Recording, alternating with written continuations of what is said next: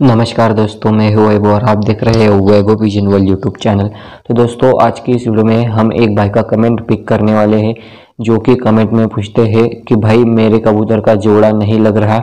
अगर मैं उसे वाइगरा खिला दूँ तो क्या कबूतर का जोड़ा लग जाएगा? प्लीज़ बताओ। आपको स्क्रीन पर कमेंट दिख भी रहा होगा। तो भाई वाइगरा खिलाने से क्या होता है, मैं आपको सबसे पहले ये बता देता हूँ। अगर गाइज़ जो कबूतर जो है अंडे नहीं दे रहे या फिर उनके अंडे में बच्चे बन नहीं रहे, अंडे जो है कमज़ोर बन रहे हैं तो उसे नर को जो है वाइगरा खिलाया जाता है, जिसके कारण जो है अंडे में बच्चे बने या फिर मादी अंडे नहीं दे रही तो उसे वाइगरा खिलाया जाता है, जो कि बच्चे दे सके या फिर अंडे डाल सके। और कभी कभी जो है अंडे से बच्चे बाहर नहीं निकलते मतलब खाली अंडे दे देती है मादी तो उसके लिए वाइगरा खिलाया जाता है। और आप बात कर रहे हो कि आपका कबूतर जोड़ा नहीं लगा रहा मतलब कबूतर का जोड़ा नहीं लग रहा। तो इसमें आप क्या कर सकते हो? मैं इस वीडियो में बता रहा हूँ तो ध्यान से ज़रूर से सुन लेना और वीडियो ज़रूर से पूरा देख लेना, क्योंकि वाइज वीडियो में कुछ ऐसे बातें बताऊँगा जो कि आपके बहुत ज़्यादा काम आने वाली है। तो सबसे पहले आपको जो है वाइगरा खिलाने की कोई भी ज़रूरत नहीं है। आपको जो है नर और मादा को जो है अलग कर देना है, कम से कम दस दिन के लिए या फिर आठ दिन के लिए। अगर आप दोनों को जो है अलग कर देंगे तो नर जो है मस्ती में आ जाएगा और मादिन भी जो है मस्ती में आ जाएगी।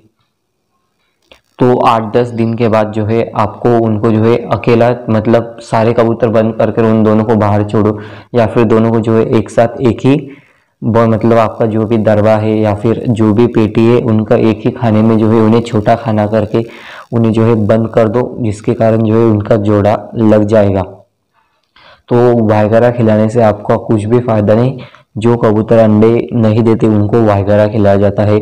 अगर आपका जोड़ा फिर भी नहीं लगता तो वो नर जो है आपको फिर से आठ दिन आपको जो है आठ दिन उसे जो है किसी भी मादिन के साथ नहीं रखना, उसको आठ दिन अलग रखना है और उसके जो है दूसरी मादी लगा कर देखनी है ट्राई कर कर देखनी है, तब वो जोड़ा जो है आसानी से लग जाएगा।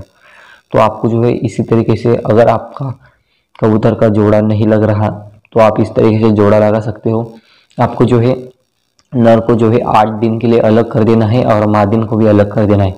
और आपको इस बात का खास ख्याल रखना है कि नर जो है मादिन को ना देख सके और मादिन जो है नर को ना देख सके आठ दिन के लिए। और उसके बाद जो है दोनों को एक साथ खाने में बंद कर लेंगे।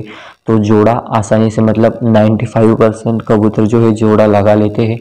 और कुछ कबूतर जो है मतलब बहुत कम कबूतर मतलब सौ में से पाँच कबूतर ऐसे होते हैं कि जो जोड़ा नहीं खाते जल्दी से, क्योंकि उनमें जो है ज़्यादा मस्ती रहती है तो कभी इस मादे के पीछे तो कभी उस मादे के पीछे, ऐसे जाते रहते हैं।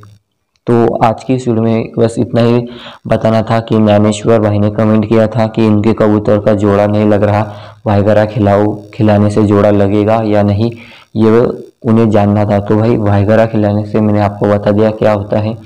और जोड़ा तो ठीक इसी तरीके से लगेगा, मैंने ठीक बताया उसी तरीके से। और आपको जो वीडियो में देख रहे हैं वो अपने पुराने कबूतर है, जो कि मैंने बेचने से पहले वीडियो बनाई थी। तो वही कबूतर आपको स्क्रीन पर देख रहे हैं।